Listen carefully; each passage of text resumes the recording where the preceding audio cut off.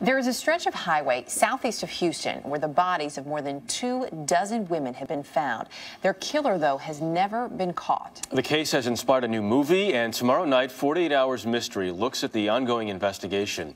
As correspondent Erin Moriarty tells us, nothing in the film can match the terror and the tragedy of the actual cases. Gritty, industrial Texas City, Texas is a long way from Hollywood. But two veteran detectives here, Brian Goetschius and Michael Land, were the inspiration for the lead characters in the newly released movie, Texas Killing Fields. Actor Jeffrey Dean Morgan plays Brian. The body was found right over there. A cop with a rather unusual style. Your character in the film prays over bodies. Do you do that in real life? I do.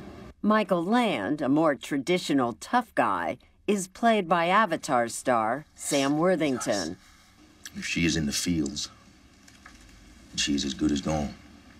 They are just two of the countless investigators over the years trying to solve the murders of more than 30 young women whose bodies were found in places like this desolate abandoned oil field. The particular area where your daughter was found has kind of gained a name over the years, hasn't it? Yeah, now they call it the Killing Fields. The movie got its name from where Tim Miller's 16 year old daughter Laura was found in 1986. She had disappeared a year and a half earlier.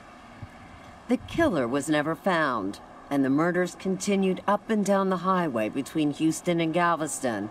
Brian Goetschius joined the investigation in 1996 when 13 year old Krystal Baker was kidnapped from a convenience store in Texas City her body identified in another county two weeks later. What made the Krystal Baker case so difficult to solve? We had a two week window that we lost.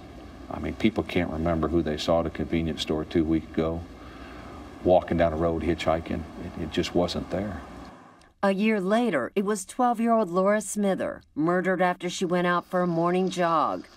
And four months later, 17 year old Jessica Cain simply vanished.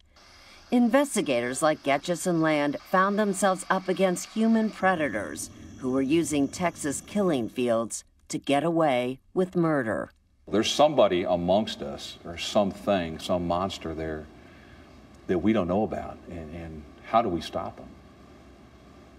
Well, this new movie is fiction, which is why we decided to take a look at the real cases with the hope that maybe somebody will come forward with evidence and help solve some of these cases. Most of them are unsolved. And, and, and do we know for sure, too, the, these more the bodies of you know, these more than 30 women, are they all thought to be connected, the work of the same person, or that's not clear either? No.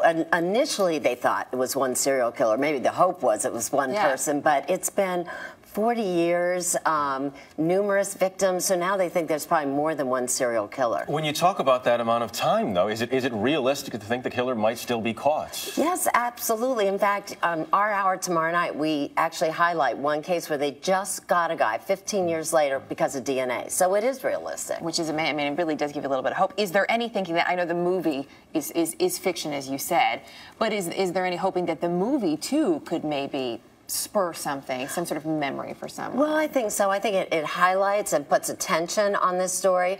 But that's one of the reasons why we looked at the real cases. We're yeah. dealing with the real cases. We have two young women who've never been identified, and we're going to show their. Um, you know, their sketches, and maybe they'll at least be identified because of our hour. And hopefully that will bring some comfort to families, perhaps, who are trying to find someone who went missing. Erin Moriarty, fascinating stuff, scary stuff. Scary.